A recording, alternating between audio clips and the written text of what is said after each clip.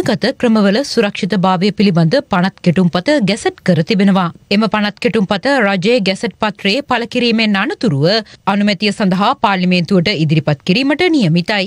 මාර්ගගත ක්‍රමවල සුරක්ෂිත භාවය පිළිබඳ පනත් කෙටුම්පත ගැසට් කිරීම සම්බන්ධයෙන් පසුගියදා මහජන ආරක්ෂක අමාත්‍ය ටිරාන් අලස් ඉදිරිපත් කළ යෝජනාවට අමාත්‍ය මණ්ඩල රැස්වීමේදී අනුමැතියද හිමි වුණා. ඒ අනුවයි අදාළ පනත් කෙටුම්පත ගැසට් කර ඇත්තේ. දෙදස් විසි අතරේ අංක නමේ දරන මාර්ගගත සුරක්ෂිතාවේ පිළිබඳ පනත සංශෝධනය කිරීම සඳහා ඉදිරිපත් කරපු කැබිනට් පත්‍රිකාවට අඩුමැතිය ලැබුණා. එම පනත සංශෝධනය කිරීම සඳහා අමාත්‍ය මණ්ඩේ මීට කලින් තීරණයක් ගෙන තිබුණා.